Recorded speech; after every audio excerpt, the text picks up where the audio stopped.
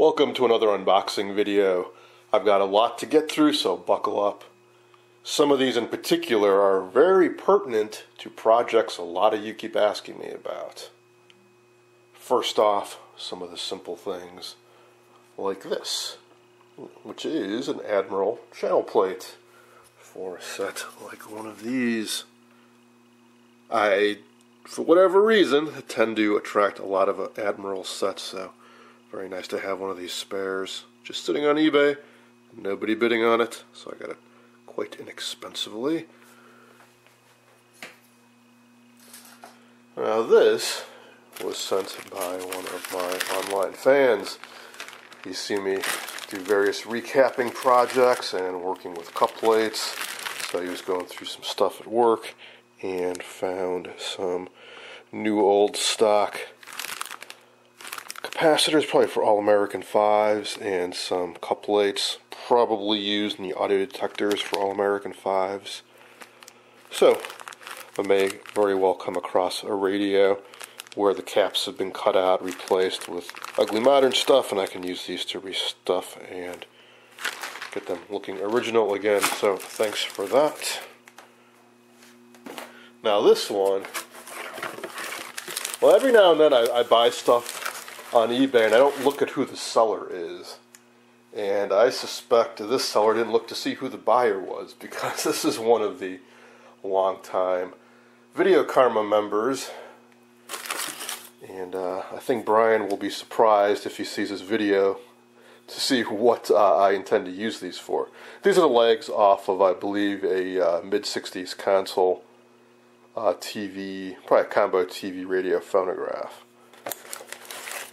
Well, what I want to use them for is a radio, some of you may recall. Here's the radio I'm talking about. It's my RCA 222, which at some point in the past had its legs cut off. Probably back in the 30s, maybe 40s. The reason its legs got cut off is that it was to modernize it. Radios in the 20s, like the one it's sitting on top of, had these long turned legs this is probably from a from 29. This one I think is from maybe 32. So it had shorter legs, but still had legs. By the time you get to the mid late 30s, console radios didn't have legs anymore. Maybe just a little riser, but not long legs. So somebody cut it off to modernize it. Well, I really like this radio, and since then I, have kind of tentatively asked around to see if somebody could replicate them, and haven't gotten really any good leads. And I know it would cost a fair amount of money if I wanted to really get them looking exactly like the originals. Because not only were their legs, which were probably a bit complex to replicate, but there's also a, a shelf that connected them. They kind of reflected the same oval pattern here. Actually, there were a couple different styles, but I like the oval one the best. Well, so in, in lieu of having somebody make new replica legs or learning how to do it myself, every now and then I search on eBay for vintage legs, and I came across these. So imagine these are attached uh, down here. Uh, if you flip this over, there's like a one inch dowel that was cut off. And uh, I think I could attach these to that same point. And these are quite similar to the originals, which also bumped out uh, a bit.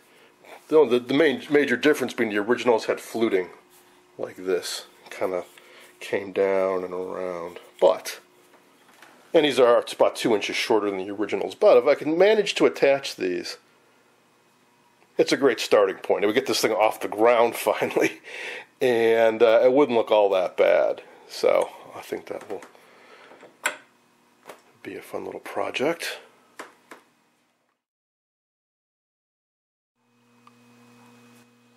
Now this I haven't looked inside yet. I think I know what it is. Let's see. Interesting way to pack it. Alright, I'll have to cut that open.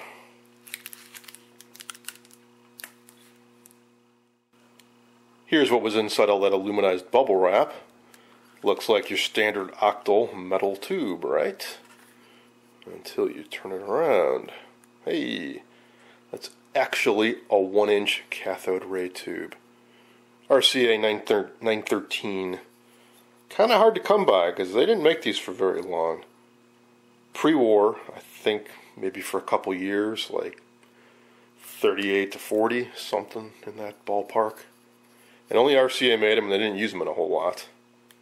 I know there's at least one little bitty kind of training oscilloscope, and I imagine these found their way into some communication gear as well for monitors. Well, I had one of these way back. Probably picked it up in the 80s, and I made a little oscilloscope around it, which didn't work all that great, so I eventually kind of scrapped it out reused the parts. And somewhere over the years, I lost my 913 since then, they don't show up too often. They can be kind of pricey, so I was happy to see this with a reasonable buy it now a few days ago and picked it up. A little dirty, a little rusty.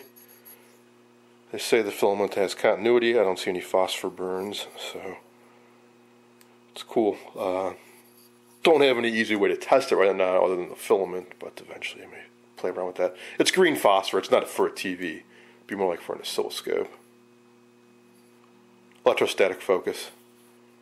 I'll uh, pull up a schematic and show you how they get away with having a full-fledged CRT with only 8 pins.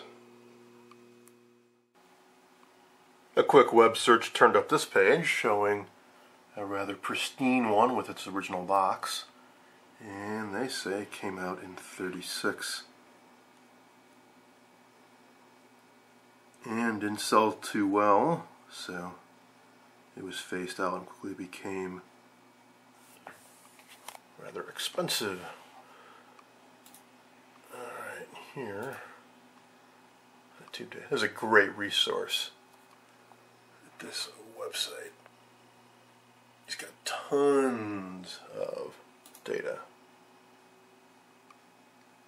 So let's see, where's 913? There we go.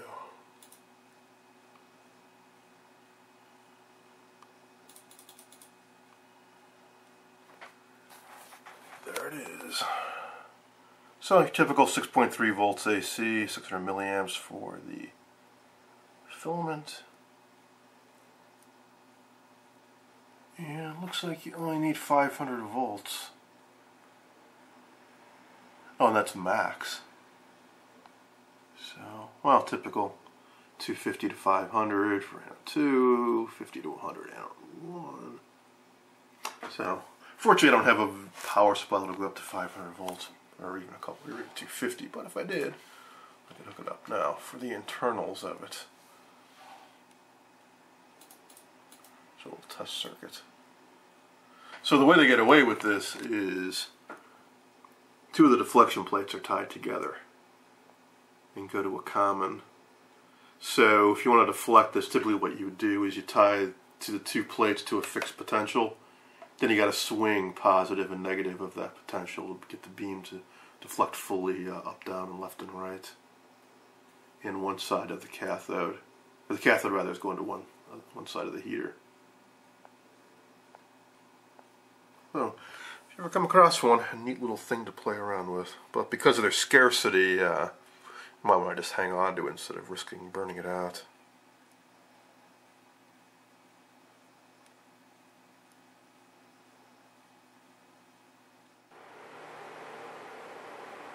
And here is one of the little itty bitty scopes. National CRM Oscilloscope, introduced in 1937. Only $11.10, less tubes.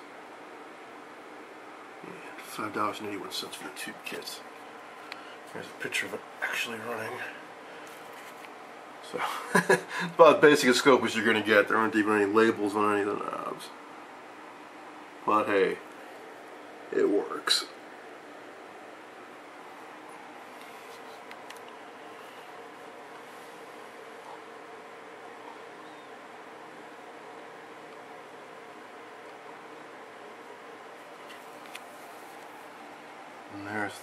circuit inside. So for your tube kit, you get all of two tubes, most notably the CRT, and then they throw in a 6x5 rectifier.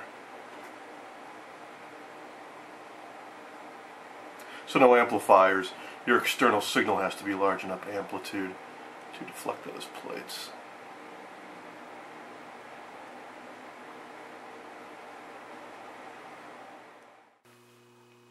Alright, now things should get a little more interesting. There's a reason why this box is on top of my national TV that I recently showed a video. So, as I mentioned in the video on that national set, basically all the knobs are missing. Thanks to help from some online friends who have this set or had reference photos, I uh, was able to determine that there are several variations. I was right in my assumption this is the original fine tuning knob. The correct channel selector knob is actually a chicken head knob, slight variation of the common one you see in test equipment. So I'll have to dig through my uh, knob stash to see if I can dig one up. And even if I can't, I think just any old brown chicken head knob will look good enough. But these are definitely not the originals. There should be a knob similar to this over here. And these four, well, hopefully we'll see in a moment what they should look like. Somebody gave me a tip that, well, I got two tips. One, that there are national radios that use similar knobs. So I've been looking around for those. No luck so far, but there's also what's in here.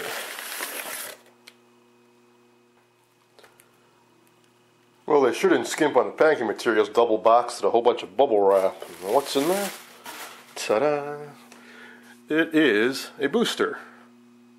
Plenty of outfits made TV boosters, not especially rare, except when you get into something like this, which is actually a national branded matching TV booster with the same type of knobs as this. So this knob is what I'm looking for. I need four of those, or if I chose to, I could pop one off of here in the 93, but these seem to be pretty scarce, and this one is so nice.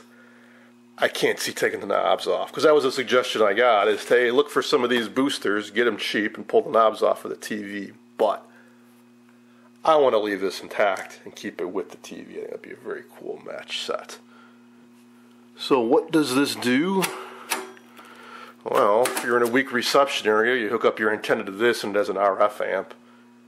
I don't know how much gain it's supposed to give you, 3 dB, I don't know, but what these actually really tend to do is they amplify the reflections and the noise and all, so I think they're of dubious value, but then again, I wasn't around back in the day when these were being used, so hey, maybe they work better than I think.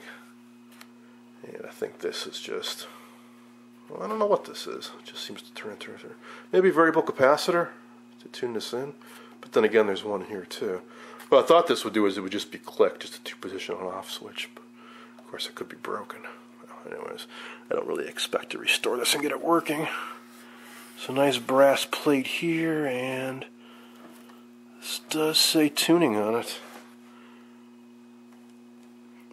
So this outer knob, this paddle knob, and this inner fine tuning, that's what was used on other variations of this set.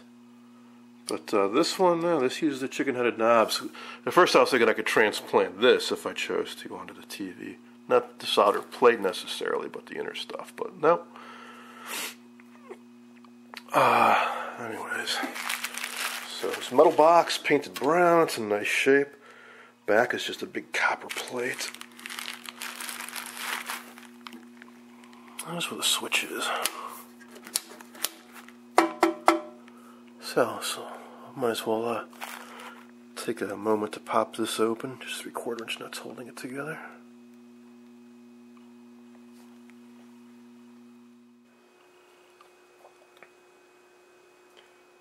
I pulled this knob off easily enough. If anybody has any of these lying around in their junk box, please let me know. Alright, so to get the other knob off, there are some such screws. Think this is about right.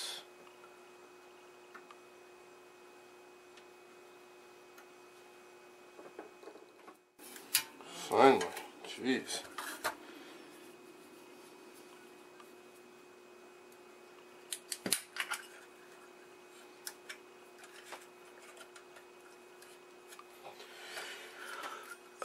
Alright, so, wow. Certainly copper plated. Rectifier, single tube, very well shielded. And, uh, well, tuner, I can see one of them plugins is damaged. Similar to an Admiral uh, turret tuner, which I think is made by Standard Coil or Sarks or Tarzan or something like that. But those had two individual sections. This just has one. I've opened these up before, and they didn't have full-blown like turret TV tuners inside of them. They certainly weren't copper-plated. look down there. Not that I want to power this up. Even if it did work, I what's it going to do for me? I suppose I could rig up a feeble transmitter and then see if this boosts it, but uh, really necessary. I just wanted to check out what the inside of this might look like. Certainly higher quality than your standard TV booster, that's for sure.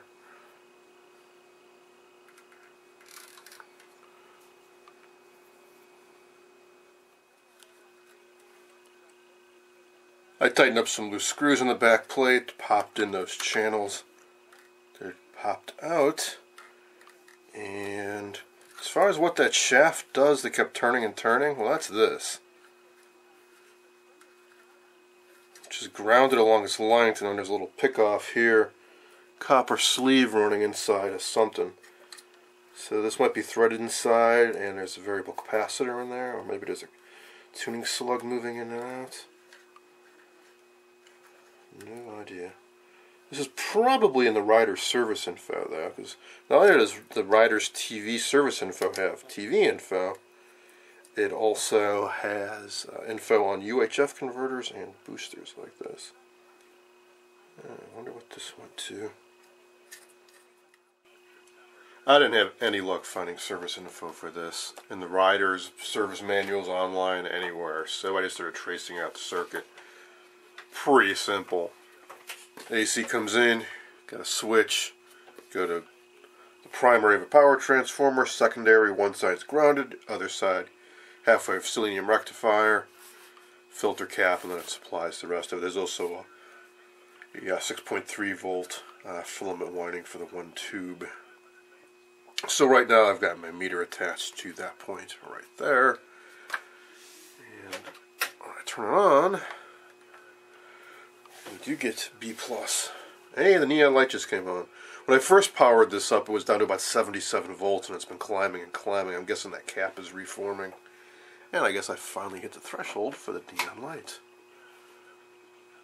Alright.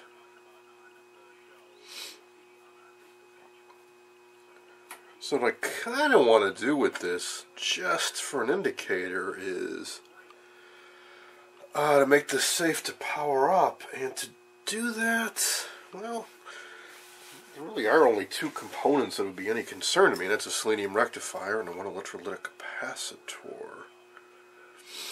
Uh, do I want to change them or just leave them in? I don't know.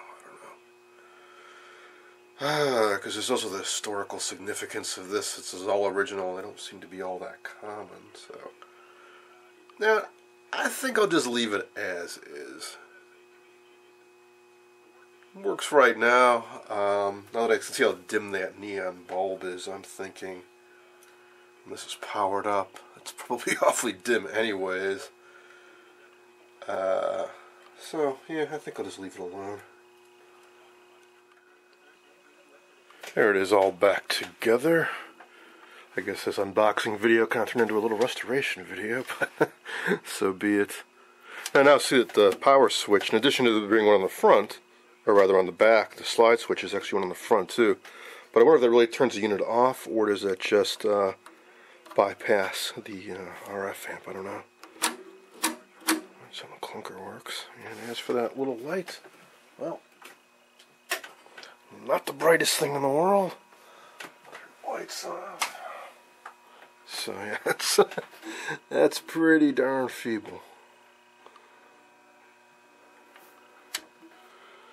So, I don't know. It looks like maybe it's not up all the way, but even if it was, uh, a little neon bulb like that is not exactly the brightest dial lamp.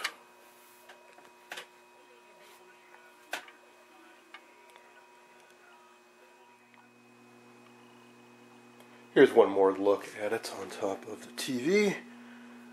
Now, this TV sparked more interest than I was really expecting.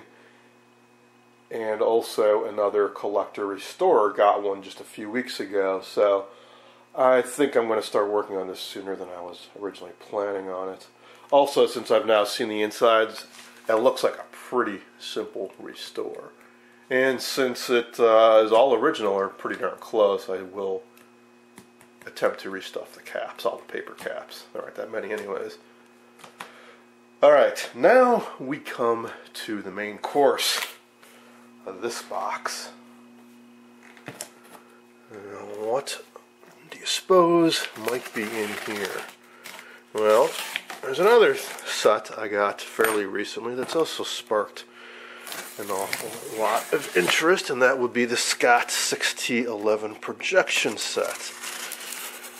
And refresh your memory, that set has a lot of water damage on top, so I want to rebuild the cabinet, which will require me getting my hands on a table saw, learning how to use it, and of course building the top. But also, there was a lot of damage to the internals, not, not the main chassis, not the electronics, but the optics. The front surface mirrors, all grungy and nasty, and the worst part was the um, corrective lens. It's pretty crucial to the operation of the set. was all foggy. I don't know if it's got mold or mildew in it. It's got some kind of organic gel, I think, in there. Well, that's I think it's beyond salvaging, and I would have to find a substitute, or so I thought.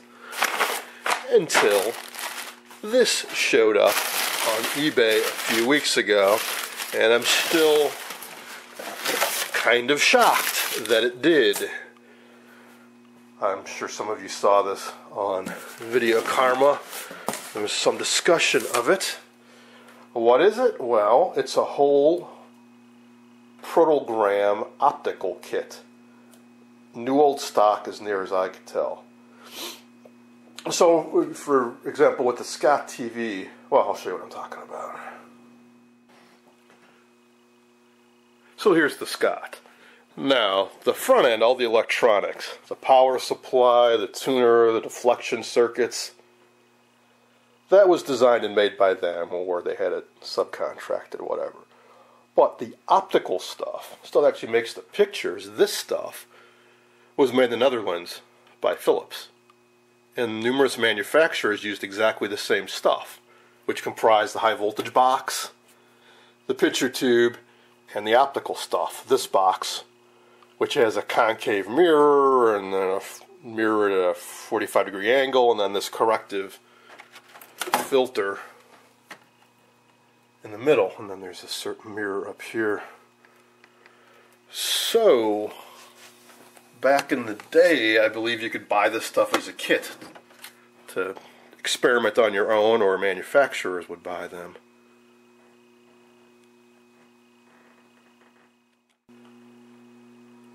So what's in these boxes are those three components. Picture tube, new old stock. That should be the high voltage supply and this should be the optical assembly.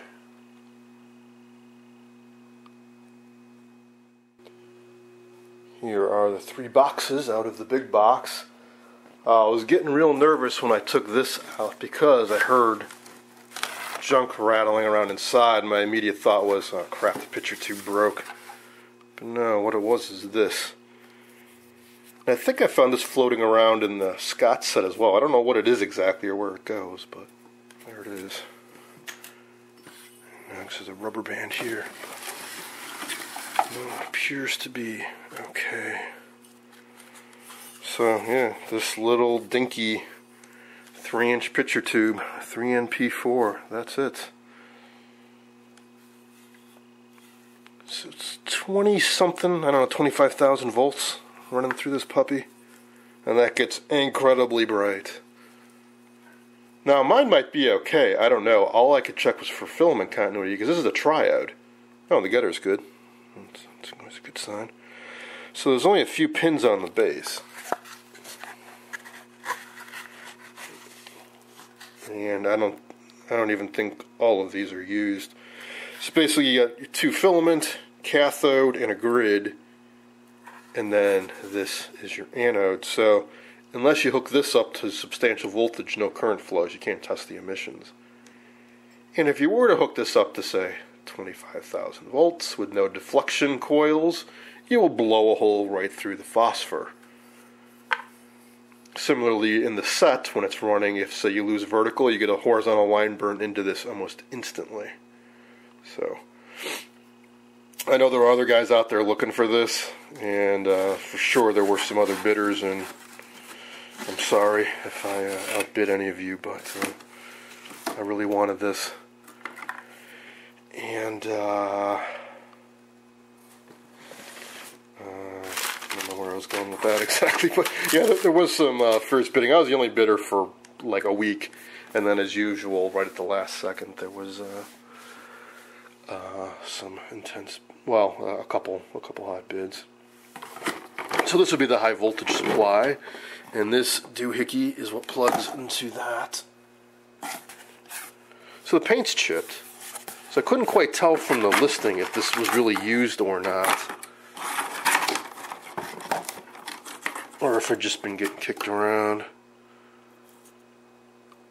Well, these wire leads are stripped, but doesn't look like they were ever soldered to anything. Well, the one is twisted around a little. It's hard to say. Somebody might have hooked it up temporarily just to test it.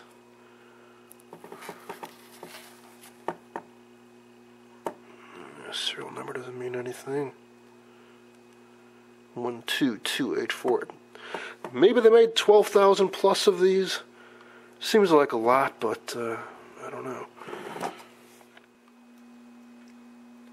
Here's a better look at the other two components. So here's the high voltage supply. This end plugs into that cup on the CRT, and then this hooks up to oh B plus ground, maybe and maybe a control voltage, brightness control, something like that. So I've heard some guys say that if you want to test one of these, what you can do, hook up a filament supply, plug this into it, power this sucker up, and keep the brightness turned on real glow, and look for a spot on the face of the CRT. I don't quite have the nerve to do that, but uh, I may I may later as I get more familiar with this set. I don't want to risk burning anything out. And this is a piece I'm most interested in. Now I, I, was wrong. This is not a complete kit because it doesn't have any of the CRT mounting hardware. There's no yoke. There's no focus coil. There's no CRT mount, which would all go in here. So the CRT shines into this end, and it hits a uh, circular convex mirror. So it shines that way, shines, and then bounces back and hits this mirror at a 45 degree angle. It has a circle cut into it, and it shines straight up through this. And this is what's all cloudy in mine. This one's a little grungy at the edges, but otherwise much better. There's some rust, but I can work on cleaning that off. All right, so I don't know. I get asked a lot about when am I going to work on this. I don't know. I don't. Know. there's so much work to do. I want to get a table saw and, like I said, and, and rebuild that top, and, uh, I got a lot of other stuff I want to want to deal with first. So it'll be much more uh, likely that this will be coming up before the Scott. But there is nothing hindering me from working on the Scott now. Well, that is it for the unboxing. Hope you guys enjoyed this look at some of my latest finds.